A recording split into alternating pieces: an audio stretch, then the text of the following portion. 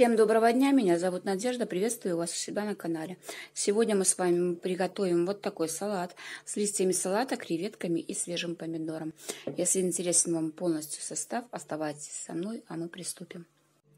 Для данного салата мне понадобится грамм 200-300 креветок, 2 средних помидора, 5-6 яиц, грамм 150 сыра твердых сортов и салат. Также заправляться я буду майонезом. У меня майонез домашний, московский, 55% жирности, без ГМО.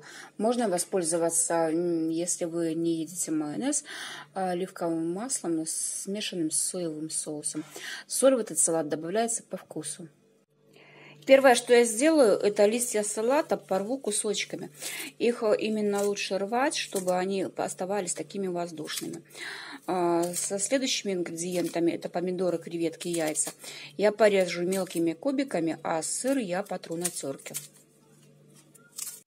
Ингредиенты подготовила. Салат у меня э, измельчен, сыр потерт на терке, и яйца, и помидоры, и крабы, хотела сказать крабовые палочки, креветки у меня порезаны.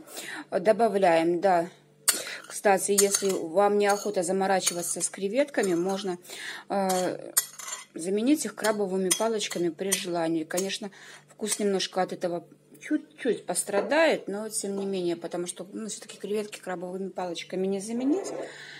Ну, если уж совсем не в моготу, то, в принципе, можно.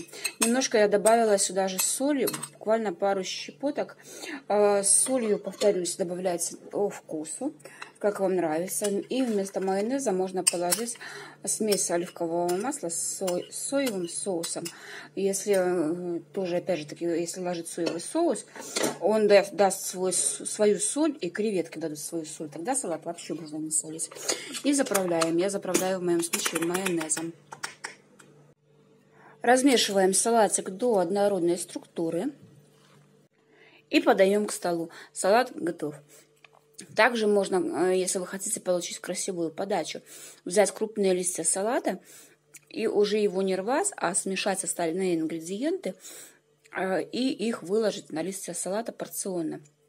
Тоже будет и вкусно, и красиво. Если вам понравился состав, способ приготовления и рецепт, ставьте, конечно, пальчик вверх. Не забывайте подписываться на канал.